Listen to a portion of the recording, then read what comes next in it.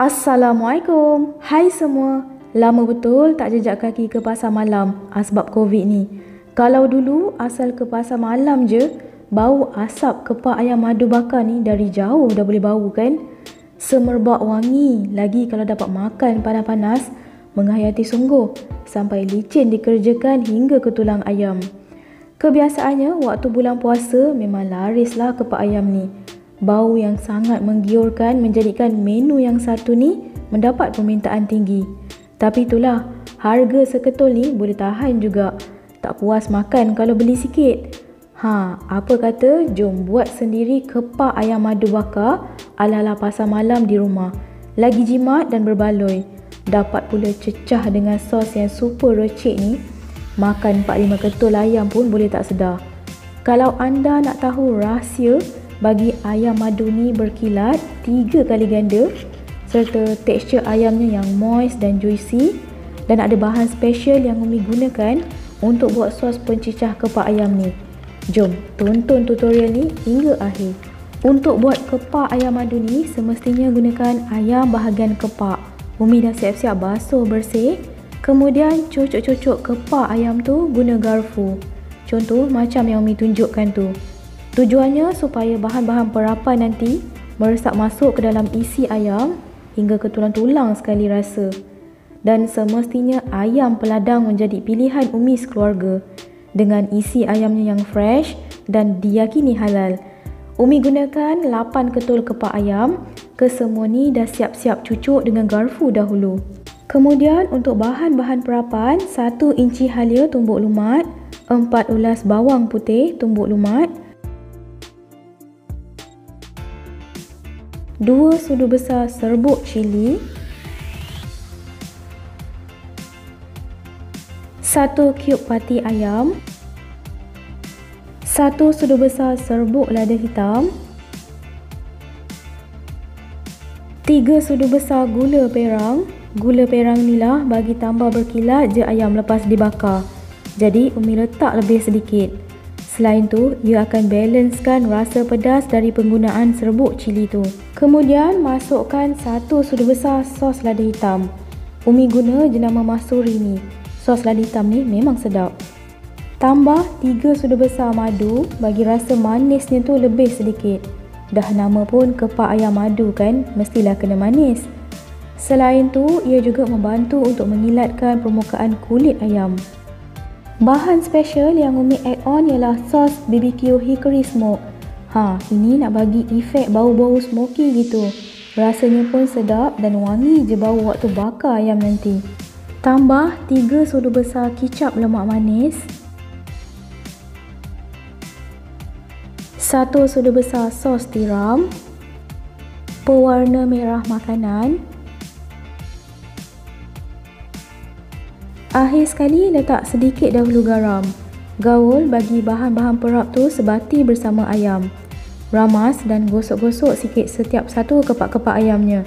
Bagi bahan perapan tu meresap sampai di bahagian dalam isi.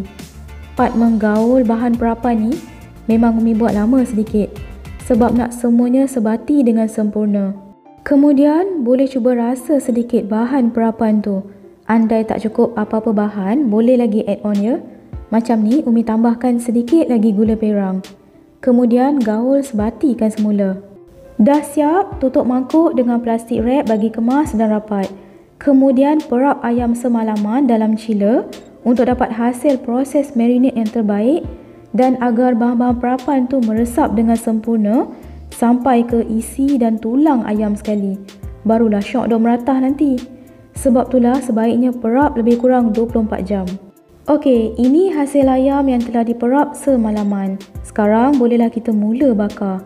Umi bakar guna air fryer je. Sangat-sangat mudah dan jimat masa. Tak perlulah duduk depan ayam tu hingga ayam masak. Kita bagi air fryer je jalankan kerjanya. Sebelum tu, alas dahulu dalam air fryer dengan aluminium foil. Untuk sekali bakar ni, Umi hanya masukkan 3 ketul kepak ayam sahaja. Jangan letak terlalu banyak Dikhawatiri ayam tak masak sekata nanti. Sirakan sedikit dengan kuah perapan di atas badan ayam tu dan bolehlah terus dibakar dalam air fryer.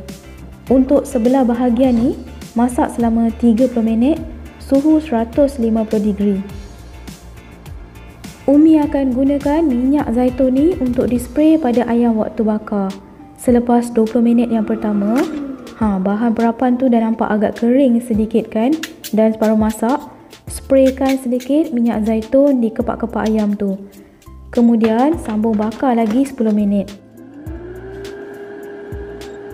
Selepas 30 minit yang pertama tadi, terbalikkan pula kepak-kepak ayam ni. Nak bagi bahagian bawahnya pula garing sedikit.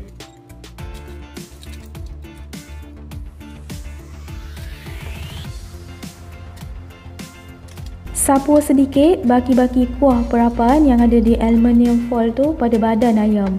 Ha, kan nampak lebih shiny dan cantik, elok sempurna gitu. Kemudian sambung bakar lagi selama 20 minit. Waktu ni naikkan suhu pada 180 degree sebab nak bagi belah bawah ni garing gitu. Kemudian untuk last touch up, terbalikkan semula bagi kulit ayam tu duduk di bahagian atas.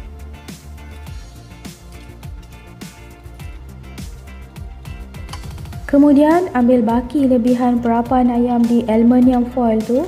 Ha, Beru-beru sikit di permukaan kulit ayam tu. Sambung bakar lagi 10 minit. Guna suhu 180 degree. Bagi kepak-kepak ayam ni nampak lebih garing Dan nampak efek burn kat situ. Tengok tu cantik berkilat ayam-ayamnya. Nampak lebih menarik dan menyelerakan sungguh. Bau smoky-smoky dari hasil penggunaan sos BBQ hickory smoke tu lah yang bagi efek bau ayam ni semerbak wangi. Kemudian sambung lagi bakar baki-baki ayam yang ada. Proses masaknya tu sama je macam yang pertama tadi. Sementara tu jom kita buat pula sos pencicah ayam bakar ni. Bahan-bahan yang diperlukan baki bahan perapan ayam, 2 sudu besar kicap lemak manis, setengah buku kecil gula melaka, sedikit air, 1 sudu kecil cuka makan. Umi guna yang ni ya, dan satu sudu besar tepung jagung. Caranya sangat mudah, masukkan je semua bahan-bahan tadi ke dalam non-stick pan atau periuk yang kecil. Masak hingga gula melaka tu larut sepenuhnya.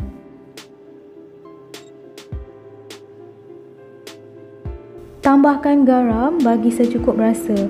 Dan ha, Umi ada add on satu bahan ni ha. Penyedap pada sos cecah kita. BBQ Hickory Smoke Sauce. Masukkan agak-agak dalam 3 ke 4 sudu besar. Ikut cita rasa yang kita nak ya. Umi memang suka ada rasa-rasa smoky gitu pada sos ni. Serius sedap sangat-sangat.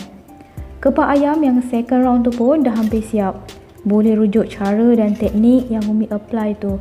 Bagi hasilkan kepak ayam madu yang cantik dan super sedap ni. Sangat-sangat mudah guna air fryer je ni Sambil tunggu ayam siap dibakar, kita dah boleh siapkan sosnya sekali. Gula dah larut, akhir sekali baru tuangkan sedikit demi sedikit bancuhan tepung jagung. Bagi dapatkan kepekatan sos mengikut cita rasa kita. Kalau suka lebih pekat, lebihkan sedikit. Kalau suka cair, kurangkan sedikit penggunaan tepung jagung tu. Hmm, waktu masak sos ni lagi dah naik aroma wangi pada sos ni. Apatah lagi lah rasanya. Kepak ayam madu bakar bersama sos pencicah istimewa by Umi. Dah ada yang terliur ke tu tengok kepak ayam madu bakar ni? Serius sedap ya Mat. Bahan perapan tu terasa sampai ke tulang-tulang ayam. Tekstur ayamnya pun juicy, moist dan shining berganda. Memang rugilah anda jika tak cuba di rumah. Duduk meratah anak beranak depan TV sambil tengok drama boleh licin sepinggan. Sekian sahaja dalam entry kali ini. Jumpa lagi di episod akan datang. Jangan lupa subscribe, like dan boleh sharekan jika anda suka resipi ni. Tekan lonceng pertama untuk dapatkan notification resipi-resipi terbaru di channel Umi. Assalamualaikum. Bye.